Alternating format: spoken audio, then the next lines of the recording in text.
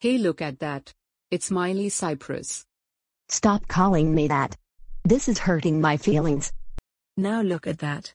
Miley Cypress has a goddamn sister, Noah Cypress. Hey. Stop calling me that. And how dare the three of you make fun of my sister like that for no goddamn reason. You'd wish the Cypress sisters.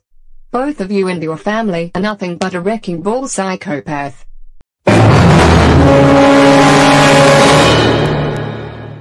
What's with all the commotions out there? And why is my daughters Miley and Noah crying like babies? Mom, Miley and I are crying because three nasty girls made fun of her first, and now they actually made fun of me.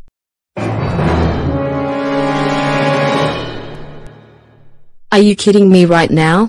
Violy, Miley and Amaravati. How dare all three of you make fun of my daughters Miley and Noah and make them cry. That's it. I will be calling your parents right now.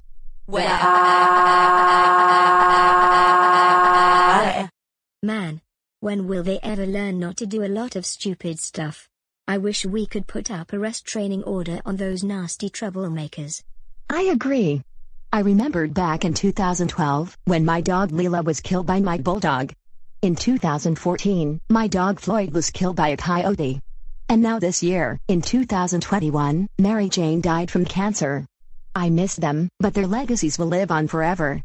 We totally agree with you. I also heard that those scumbags got the best of the three dogs as well. They will be in super trouble as of right now. Violy, you disgusting monster. How dare you go out on a crime spree along with your friends and traumatize Andrew Orozco and his friends. Now their feelings are hurt and Miley Cyrus and her sister are now being traumatized by calling them bad names because of you. You are grounded for the rest of your life. Get your butt upstairs to your room right now and think about what you did to Andrew Orozco and his friends as well as Miley Cyrus and her family in the first place.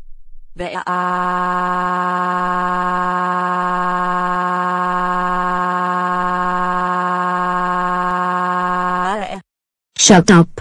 Go to your room right now or else you're grounded even longer. Miley, have you lost your mind right now? What made you think it was absolutely okay to make fun of Miley Cyrus and their sister like that? You're a complete dangerous woman because of that. Jean is right Marley. You know that you are not supposed to make fun of celebrities, because it can actually get the best of you. For this, we are calling the police to come and arrest you. Plus, you're grounded for the rest of your life. But Jean, Karen, Clara and Natalie, it was just an accident. Your apology is not accepted anymore Miley. This is not the first time that I see you beat up a student who writes a lot of love letters and harass them all the time. I don't blame my friends, Karen or Jean for what they said. Go to your room and wait for the police to come and arrest you. Uh, uh, uh, Amaravati, how dare you make fun of Miley Cyrus and her sister and made them cry? That's it. You will never have your computer and your devices again and you are now being put on Santa's naughty list for the rest of your life. That will be your consequences. Plus, you are grounded for all the history. Go to your room right now.